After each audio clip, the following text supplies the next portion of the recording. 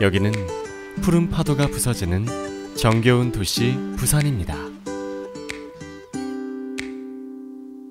한국에너지공단은 부산종합사회복지관과 함께 건물 에너지 개선을 위해 노력하고 있습니다. 부산종합사회복지관은 1985년에 설립되어 노후된 설비들이 많았습니다. 낙후된 건물 시설들이 에너지 낭비 요소로 남아 있었는데 한국에너지공단의 에너지 진단을 통해 등유 보일러, 냉난방기, 전력 사용 설비를 교체하여 효율적인 에너지 소비가 가능하게 되었습니다. 바로 한국에너지공단의 건물 에너지 진단 정보 데이터베이스 구축 사업은 15년 이상 노후화된 건물을 대상으로 에너지 진단을 실시하고 진단 결과를 데이터베이스로 구축 제공하여 내 건물의 에너지 성능 확인을 통해 건물 부문 에너지 효율 향상 활성화를 지원하는 사업입니다. 파란 선은 어, 이번 부산 종합 사회복지관의 전체적인 에어- 에너지 사용량의 총량이라고 볼 수 있고요. 그 중에서 여기 녹색 부분은 전열, 즉 콘센트가 사용되는 용량을 볼 수 있습니다. 어, 이 노란색 부분은 조명이고요. 오늘 출근은 한 7시 반에 누군가 첫 출근을 하셨나 보네요. 이때 조명이 처음 들어왔거든요. 그리고 9시 정도에 사무실에 많이 출근하셔서 지금 콘센트를 일괄적으로 이제 제어하셔서 사용하고 있는 모습을 볼 수 있습니다. 1시 정도 되니까 이제 더우셔서 냉난방기가 본격적으로 이제 구동되기 시작하면서 에너지 사용량이 이제 폭증하고 있는 것을 볼 수 있고요. 특히 이 빨간 선이 목표로 하는 한계량 이걸 초과하게 되면 전기요금이 올라가는 그런 양인데 어, 1시부터 시작해서 요 양이 벌써 올라가기 시작했습니다. 어, 이런 것들을 보면서 어, 사람들을 이 안개 안에 이제 관계되시는 분들이 어떻게 에너지를 운영해야 되는지에 대한 정보가 이제 바로 나오는 거죠. 네, 안녕하십니까. 저는 NX 테크놀로지 대표 남주현입니다. 예, 먼저 이 노후된 건물의 어, 에너지 상태가 어떤지 정확하게 진단하는 것과 그 데이터를 기반으로 에너지를 효율화시키는 방법들을 총동원해서 예, 에너지 절감을 하는 데 그 목적이 있습니다.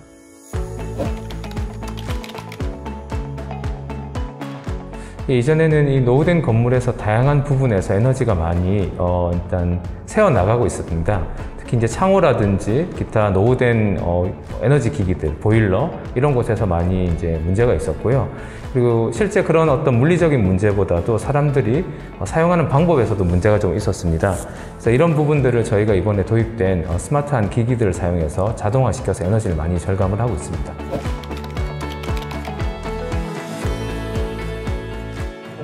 이런 건물에서 에너지가 집중되는 포인트는 거의 세 부분인데요. 첫 번째가 냉난방기, 두 번째는 조명, 세 번째는 전열, 이 콘센트가 있습니다. 어, 저희 그 냉난방을 제어하는 스마트한 온도 조절기, 그리고 스마트한 조명 제어 스위치, 그리고 스마트 콘센트를 통해서 이런 것들을 인공지능이 자동지능, 자동으로 동작해서 에너지를 절감하고 있습니다. 네, 구축 전 비교해서 현재는 한 10여 퍼센트 이상의 에너지 절감 효과가 있습니다. 그런데 이제 기후 변화에 따라서 에너지 절감폭은 점점 올라갈 것으로 기대하고 있습니다.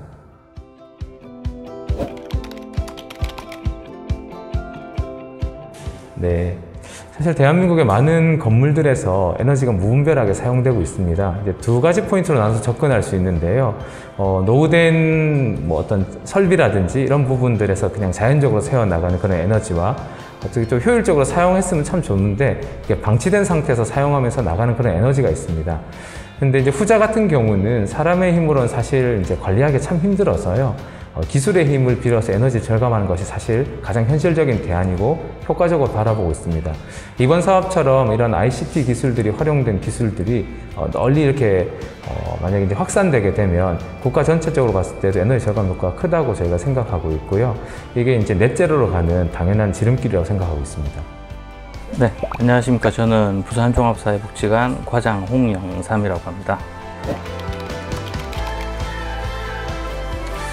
그 저희 복지관 이 공단 관련해 가지고 세 가지 정도가 저희가 바뀌게 됐는데 첫 번째가 어 이제 스마트 허브를 구축함으로 인해 가지고 이 스마트 허브 안에서 제가 전력량도 체크를 할 수가 있고 그리고 이제 저희가 이제 낭비되던 전력 그 다음에 켜져 있는 여부를 이제 저희가 스마트로 컨트롤 할 수가 있어 가지고 거기에 따른 조정도 같이 할 수 있어 가지고 좀 도움을 많이 받았고요. 그리고 두 번째는 저희 이제 지하 경로 식당에 시스템 에어컨을 설치를 해가지고 기존에 이제 노후화됐던 에어컨 한 대로 운영이 됐던 것들을 어, 세대의 시스템 에어컨이 돌아가니까 굉장히 쾌적한 환경 속에서 냉난방이 효율적으로 또 사용이 되고 있었고 그리고 마지막으로 저희 또 보일러 교체도 같이 이루어졌거든요. 보일러도 굉장히 노후화되어 있어 가지고 어, 연료 낭비도 좀 심했던 보일러인데 어, 올 겨울에 이제 보일러를 직접 사용하게 되면 굉장히 좀 연료 감축이 좀 되지 않을까 이렇게 생각되고 있습니다.